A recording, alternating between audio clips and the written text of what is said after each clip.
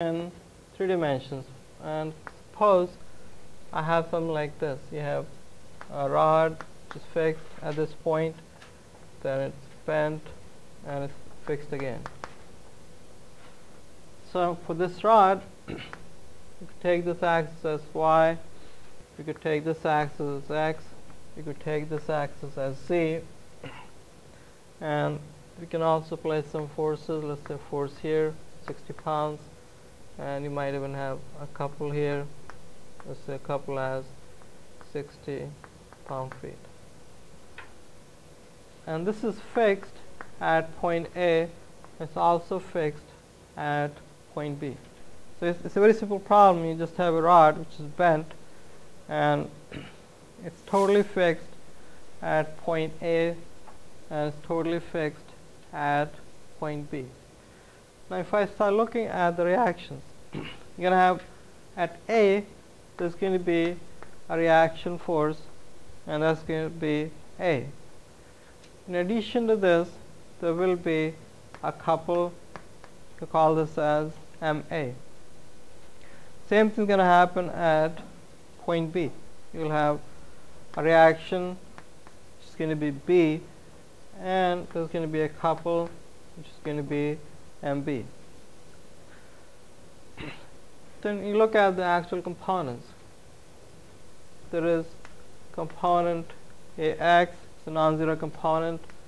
Then you have a non-zero component AY then you have a non-zero component AZ so this force here has component AX then you have A Y J then you have A Z K. Now in addition to this you will have a couple which let's say M A X. You're going to have a couple M A Y.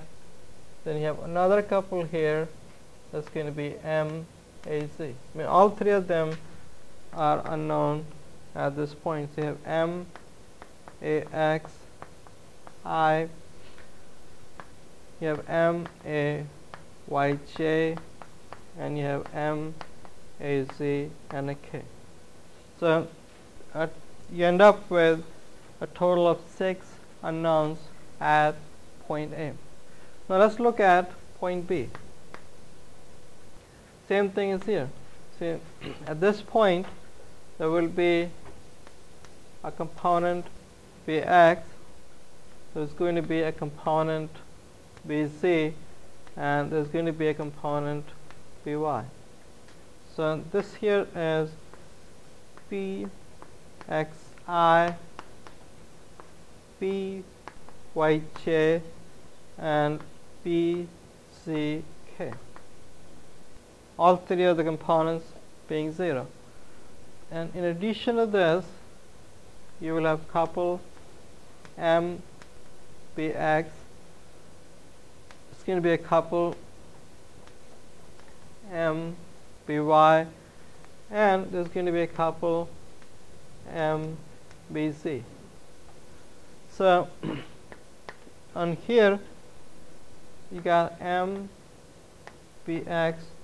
I M B Y J M B Z K. So that shows the reactions. I mean, you have the force A and B with three unknown components. Then you have couples MA and MB also with three unknown components. So if you do a count, you got three unknowns here, all three components. You have three unknowns here, you have three unknowns here, and three unknowns here. All adds up to 12. But we also know that there are only six equations for equilibrium. We can add all the forces. That's one, which gives you three equations.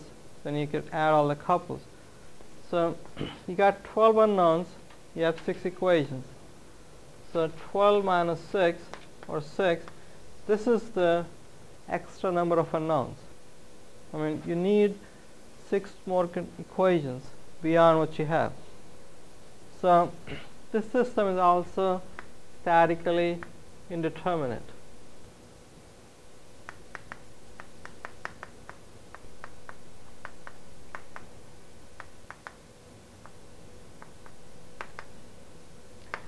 or the equations from equilibrium are not sufficient to solve for all the unknowns. That's one.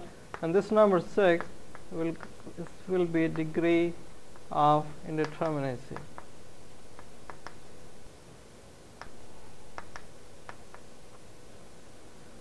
Or you need to look for six more equations to solve this problem. So that's the case where you have more unknowns than you have the equations.